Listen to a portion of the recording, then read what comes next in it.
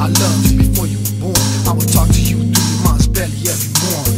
I was a little suicidal back then, but I knew I had to be there for you till the end. The day you came into my world was my first. You gave my life meaning and lifted the curse. You see, I was miserable all my life until you came. You my real life angel. You took away the pain from your first to my last. Yeah, I devoted my life from watching you myself to making sure you sleep tight.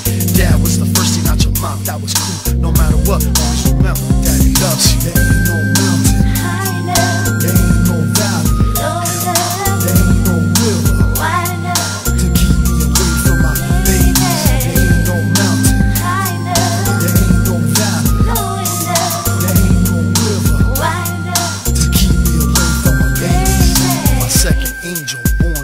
Health. Another gift from God, I named you after myself. Everything between me and your moms was getting rough, but believe me, baby, you were conceived in love.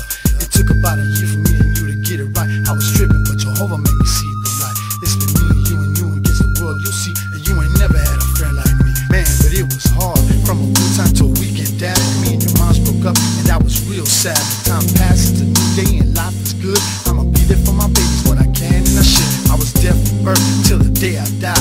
You right, show you right wild. We'll whoop that ass if you act a fool. But always know one thing that loves you. There ain't no mountain, High enough, there ain't no valley, low enough, there ain't no river wide enough, to keep me away from my babies. There ain't no mountain, high enough, there ain't no valley, low enough, there ain't no river. wide enough. to keep me away from my babies.